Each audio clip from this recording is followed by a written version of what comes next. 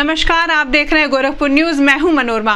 आइए नज़र डालते हैं दिन भर की घटनाक्रम पर। मंडलायुक्त अनिल ढिंगरा ने जनपद में चल रहे विकास कार्यों को लेकर आयुक्त सभागार में संबंधित अधिकारियों के साथ बैठक की। इस दौरान मंडलायुक्त अनिल ढिंगरा ने कहा कि जनपद में नाला चौड़ीकरण व सड़क चौड़ीकरण, ओवरब्रिज सहित अन्य कार्य चल रहे हैं। उसको समय अवधि में पूरा कर लिया जाए और जिन जमीनों की रजिस्ट्री करवानी है उसको जल्द से जल्द करवा लिया जाए जिससे कार्यों को शुरू किया जा सके। उन्होंने कहा सड़कों को गड्ढा मुक्त कर दिया जाए जिसका आदेश शासन से प्राप्त हुआ है। इस अवसर पर सीडीओ संजय कुमार मीना डीएफओ विकास यादव सहित अन्य लोग मौजूद रहे। अच्छा एक चीज़ ये बताओ इसके अंदर जो है कुछ लोग आए थे मेरे पास। मैंने भेजा था क्या इशू मेरे है हुआ है। क्योंकि वहाँ तक हमारा थोड़ा और चौड़ी सड़क तो वहाँ थोड़ा दस मीटर कितना कर दिया? ढाई मीटर की जगह एक मीटर लगभग आएगा सर। एक मीटर जी जी।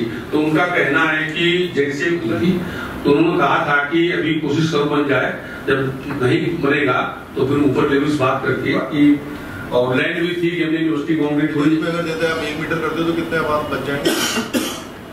मात्र। तो जैसे एक या ढाई है मगर तीन से पाँच फीट में जिनकी सर बाउंड्री या नॉन प्रभावित हो रहा है